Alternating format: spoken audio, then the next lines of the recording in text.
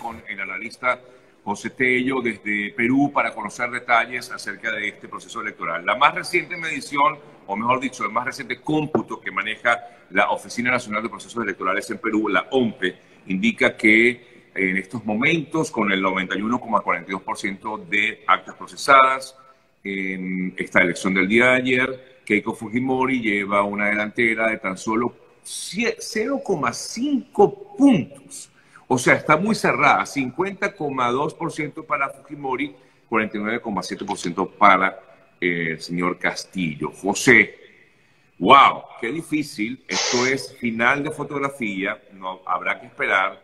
Faltan todavía, tengo entendido, votos rurales, votos en el exterior. Em, a ver, ¿qué nos puede decir al respecto? Y sobre todo, si esto sigue así, em, podemos tener, le pregunto, eh, confrontaciones en, las próximas horas. Esperamos que no.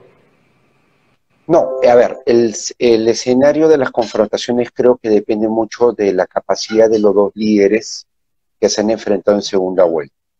Ya, partamos por ahí. Eh, se ha visto a Pedro Castillo que días antes tuvo mensajes más radicales, pedir calma. La señora Fujimori ha hecho lo propio, así que por ese lado confiemos en que eso se mantenga de esa manera. Okay. Eh, por otra parte, existe también eh, un resultado que nos deja bien en claro que nada está dicho. O sea, esto, una vez que se termine con el conteo al 100%, el procesamiento al 100%, vamos a tener igual una diferencia que la puedes navisorar en la página web de OMPE entre actas contabilizadas y actas procesadas. ¿Correcto? Las procesadas pueden llegar a 100%, pero las contabilizadas son aquellas que no han sido observadas y son una inmensa mayoría. Por ejemplo, el resultado actual nos habla de un 91.422% de actas eh, procesadas y un 90.047% de actas contabilizadas, es decir, que no han tenido observación y que se han ingresado al conteo. Y este margen de actas contabilizadas eh, eh, deja un margen de actas observadas, vamos a tener nosotros que los siguientes días se va a tener que revisar esas actas y el Jurado Nacional de Elecciones, no la OMPE, resolver si las mismas levantan observaciones y se ingresan al conteo o se declaran nulas, con lo cual las dos organizaciones políticas se podrían ver afectadas en cuanto a su, a su votación. Entonces, ahí es donde vamos a ver nosotros el trabajo de personería de ambos partidos, ¿no? Porque en el modelo peruano lo que ocurre es de que una vez que se vota, las cédulas de sufragio son destruidas y la información se contiene en el acta, en presencia de personeros de mesa. Pero luego, en el proceso de observación de actas, se va ante el personero o los personeros acreditados ante el Jurado Electoral Especial, que son los órganos descentralizados de la Corte Electoral, del Jurado Nacional de Elecciones, que está con sede en Lima, pero que tiene centralización de funciones a nivel nacional, se va pues a este proceso de conteo de votos donde de manera descentralizada todo se va colocando en una base de datos nacional y bueno, es lo que tenemos ahorita registrado. Así que podría darse una etapa donde los personeros tengan mucho accionar, donde se podrían dar pues situaciones quizás de eh, triunfos eh, por el momento. pero, que ayer veíamos algunos partidarios del eh, equipo de Perú Libre eh, que habían manifestado que en teoría se había detectado algunos casos de fraude. Eh, ojo, partidarios, no directamente el señor Castillo, pero sí partidarios de, de, Perú Libre. Eh, ¿Esto es factible que se espere algún tipo de manifestación de protestas como las que vimos en el día de ayer? ¿O porque he visto que el señor Castillo ha llamado a la calma, como también lo ha hecho Keiko Fujimori? ¿no?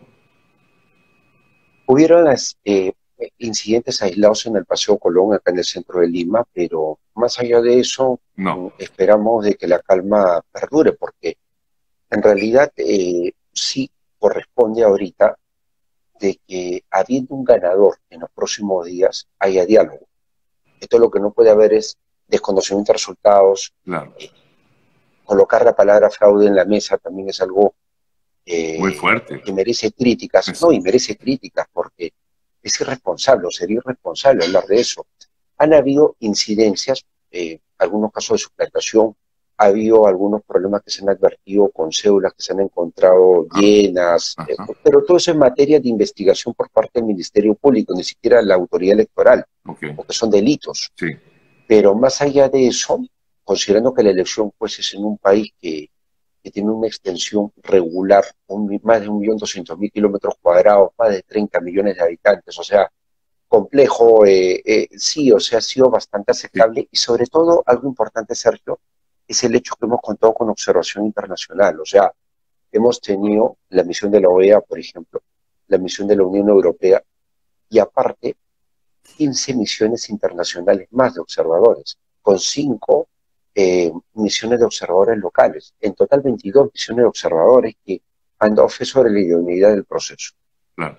José, eh, esto se veía venir, este final de fotografía. O sea, digamos que, pero yo no a ver, leyendo desde hace ya bastante tiempo, no lo visualizaba tan, tan, tan estrecho. O sea, sabía que iba a haber una diferencia entre uno y otro, sea quien sea, pero no tan estrecho. Hemos visto que efectivamente en los últimos días hubo un repunte de Keiko Fujimori, eh, que finalmente, bueno, ya lo estamos viendo aquí, el repunte, pero tanto ha sido, sí que es, es muy estrecho. ¿Cómo alguien, y le quiero preguntar, sea cual sea el ganador al final, puede gobernar de esta manera con, ese, con esa diferencia tan estrecha de su principal contrincante que además, que además tiene un pensamiento político totalmente antagónico al otro.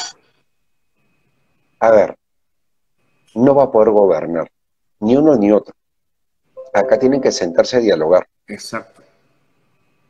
es que, claro, es puro sentido común. O sea, con esto tampoco no es que estemos descubriendo la pólvora, es puro sentido común. Es sentarse y dialogar. En el caso del señor Castillo, eh, hay algo que resulta interesante en su perfil y es el hecho que el señor viene del sindicato de profesores, es sindicalista.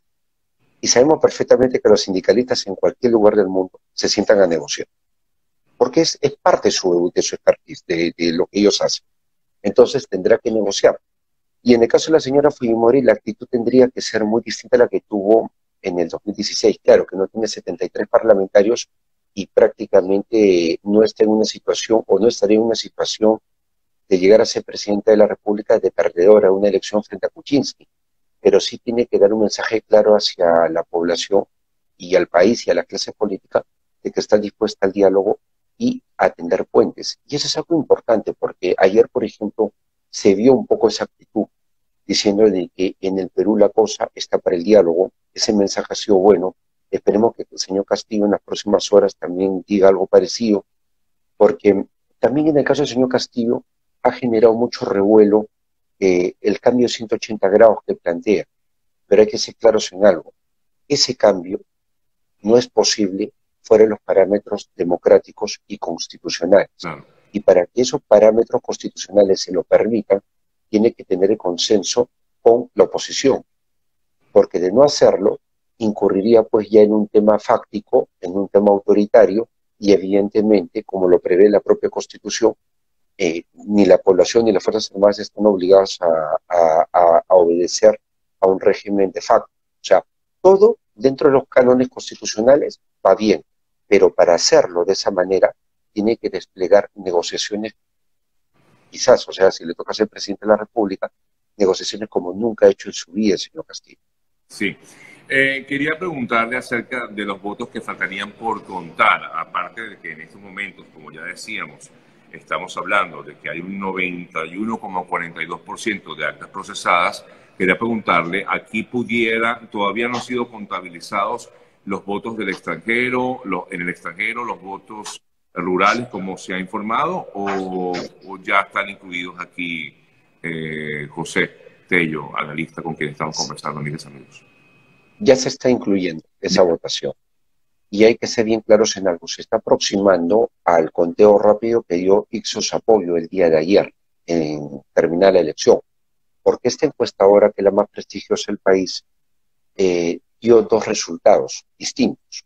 Un resultado boca de urna que daba como ganadora Kiko Fujimori y un resultado de conteo rápido que daba como ganadora el señor Castillo.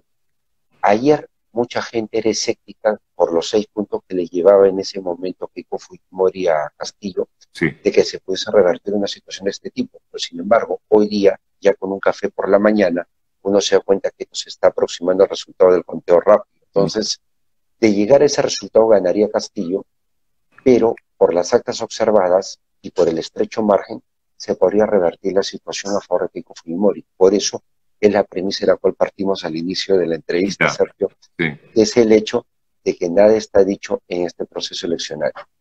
Eh, ¿Cree usted entonces que en el transcurso de la mañana de hoy ya tengamos el resultado definitivo, por lo menos más cercano a, la, a lo que sería mm, real? Yo creo que la OMPE en el transcurso de la jornada está dando el resultado eh, sobre el 100% de las actas procesadas, pero las contabilizadas al 100% no van a estar, porque vamos a tener las actas observadas y como ya lo he manifestado, esto va a llevar probablemente incluso un proceso impugnatorio por parte de los personeros de los diferentes partidos involucrados, Perú Libre o Fuerza Popular. y eso ante la autoridad electoral nos va a tomar un buen rato. Exactamente. Habrá que esperar entonces hasta el último momento, por eso decimos que esto es una final de fotografía. Bueno, José, lo mejor es que lo, lo que ocurra, pues definitivamente es lo que decidió el pueblo peruano. Esperamos que sea lo mejor para cada uno de ustedes. Y gracias por permitirme conversar contigo, José. Gracias, Sergio, por la oportunidad. Fuerte abrazo a la distancia. Igualmente. Una pausa, amigas, amigos, y al regreso ya cerramos nuestro programa de hoy. Ya venimos.